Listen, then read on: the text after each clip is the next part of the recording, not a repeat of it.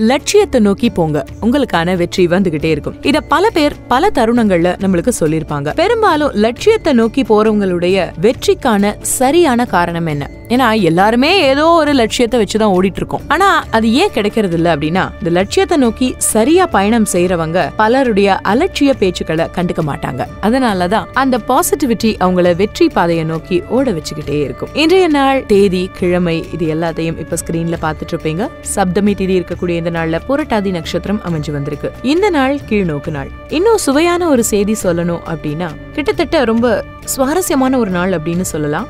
பூமி எங்கேயும் சுபிக்ஷ மழை வரக்கூடிய ஒரு நாள். இந்திய நேரப்படி நல்ல நேரம் காலை ஒன்பதரைலேருந்து பத்தரை வரைக்கும் இருக்கு. சாயங்காலம் நாலரைலேருந்து அஞ்சரை வரைக்கும் இருக்கு. காலை ஏழரைலேருந்து எட்டு வரைக்கும் ராக காலம். காலை பத்தரைலேருந்து பன்னெண்டு வரைக்கும் யமகண்டம். இரவு எட்டு மணி வரைக்கும் கடகராசி நண்பர்களுக்கு சந்திராஷ்டமம் இருக்கு. அதன் பிறகு சிம்ம ராசி நண்பர்களுக்கு சந்திராஷ்டமம் துவங்குது.